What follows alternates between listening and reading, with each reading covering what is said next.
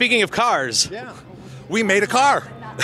Sony made a car. Why not? Why not, why not make a car? Uh, well, so Sony is the world's largest manufacturer of image sensors. So, do you have an iPhone, Brian? Uh, I do have. I do have an iPhone. Yeah, Sony sensor.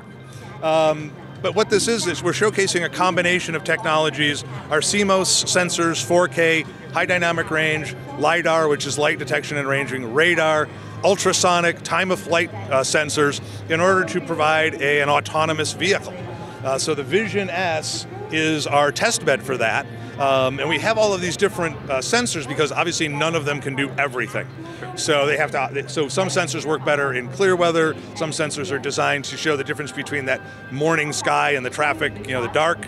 Um, know, so, that, so there's all kinds of ways that that these sensors need to work integration together. And that's really what Sony is bringing to the table is the integration of all of those parts. We don't we make about 80% of the sensors, but we, we do the integration of all of them. Interior wise, it's 360 reality audio. Uh, and there's also I mean, of course, it has to be at this point. there are there are 30 speakers inside that car.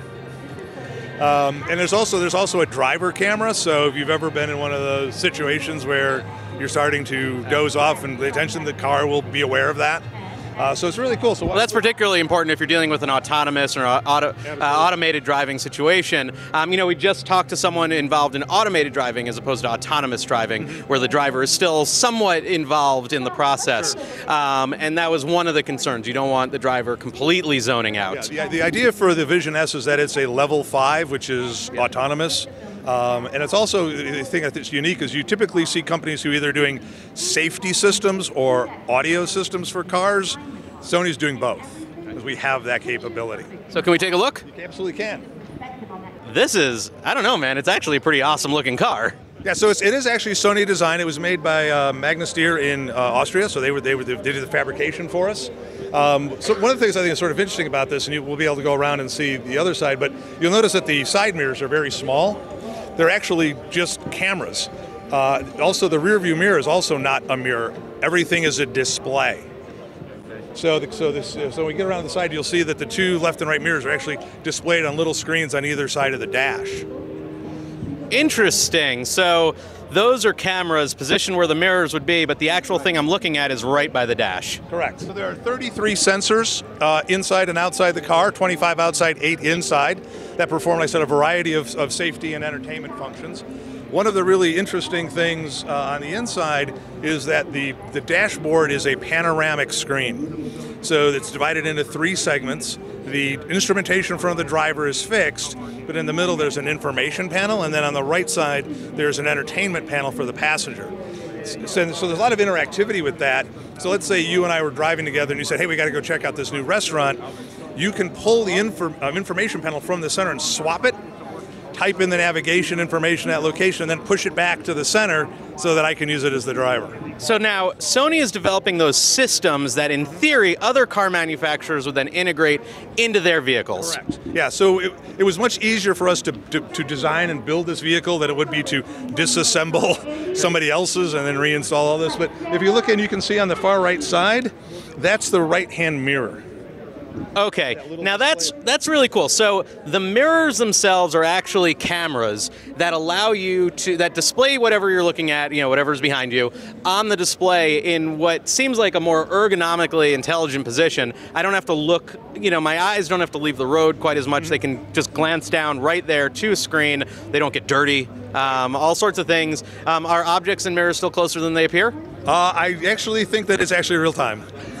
so yes, you know, with this kind of situation, with you can do you can do high resolution uh, with that, so you don't have to uh, do artificial things. The, with the three cameras work in conjunction to give you a complete field of view behind you, so there are no blind spots. That's really great. That's certainly improving safety. Um, what other features? So, as cool as the car is, what other features are involved that would maybe get ported over to other vehicles?